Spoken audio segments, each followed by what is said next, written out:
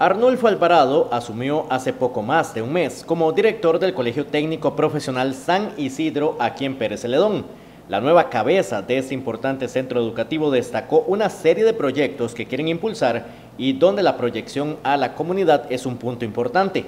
Bastantes proyectos, tenemos por ejemplo las unidades productivas de turismo, diseño gráfico, contabilidad, mecánica de precisión, electromecánica, secretariado, eh, también electromecánica, mecánica de precisión están con nuevos equipos.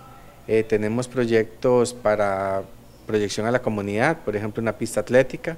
Queremos retomar lo de la banda para las celebraciones patrias, queremos que nuestra institución tenga representación una mayor representación en actividades dentro del cantón y mejorar los resultados académicos también están dentro de los impulsos que se buscan en esta institución emblemática en el cantón de Pérez Celedón. Queremos siempre participar en lo que es ciencia, arte, eh, que nuestros estudiantes tengan muchas alternativas para crecer.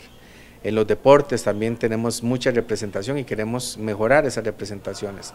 Además del rendimiento académico en las pruebas como bachillerato, pruebas FARO, pruebas de especialidad. Entonces, sí es un reto grande, son muchos proyectos lo que hay, son muchas actividades que se realizan acá.